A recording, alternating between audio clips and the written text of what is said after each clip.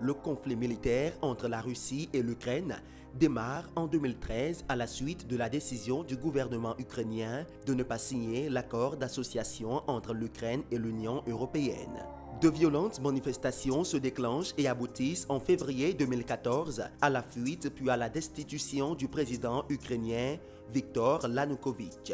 En répression, Vladimir Poutine annexe la Crimée, un territoire ukrainien. Des accords visant un cessez-le-feu sont signés entre les deux pays.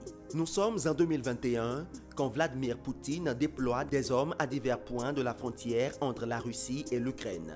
La cause serait une volonté manifeste de Vladimir Zelensky, président ukrainien, d'intégrer l'organisation du traité de l'Atlantique du Nord OTAN. Il considère cette décision comme une menace à la sécurité de la Russie. S'est envenimée en novembre lorsque Washington a demandé à Moscou des explications sur des mouvements des troupes inhabituels à la frontière ukrainienne.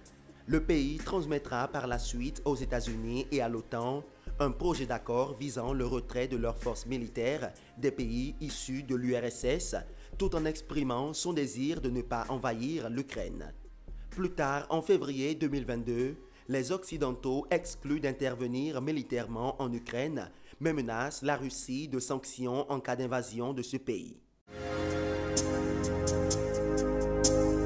Le 21 février 2022, Vladimir Poutine, dans une allocution télévisée, annonce l'indépendance des républiques du Donetsk et du Lugansk vis-à-vis de l'Ukraine, des régions pro-russes depuis quelques années. Une annonce jugée contraire au droit international. Le jeudi 24 février, la Russie déclare avoir pris la décision de lancer une opération militaire en Ukraine sur demande des leaders des régions séparatistes du Donbass dont elle avait proclamé l'indépendance.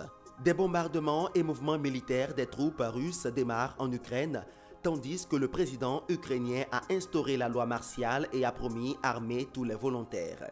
La situation prit de l'ampleur avec des frappes aériennes et des missiles lancés contre certaines infrastructures. Kiev tente de repousser les forces russes. Des pourparlers sont en cours, bien que cette crise fasse déjà depuis quelques jours des centaines de morts, des blessés et des milliers de réfugiés. Plus d'informations sur le conflit russo-ukrainien prochainement sur votre chaîne.